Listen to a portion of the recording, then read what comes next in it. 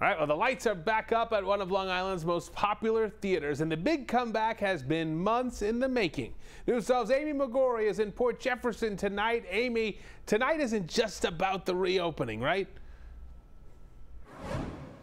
Right, it is the lights are shining, people are laughing.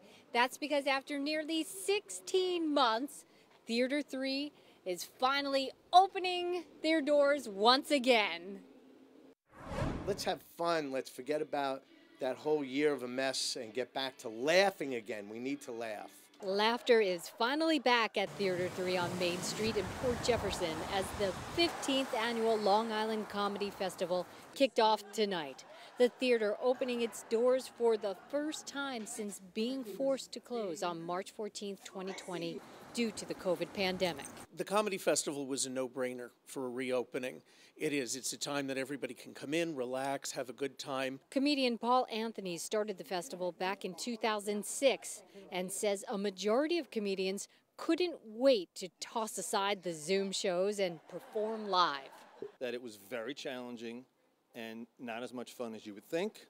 And there's nothing like um, nothing can replace a live performance. So I made my way into the green room and I got to meet one of the headliners, Joe Starr. How excited are you? I'm really excited to be here uh, mm-hmm. to start this, I guess, the season again back here at the theater. Yeah, you're First back. show in a long time. And with live people. I know. And they're not like on Zooms or anything. No, right, exactly. There's no lag. You say something, they get it, they laugh. Well, the audience certainly did laugh and told me they are happy to be back together sharing a joke. You have no idea. I, I, I've missed this so much for like the past year. That makes me so happy to see that, Amy. It sure sounds like a great night. And there's more to come, right?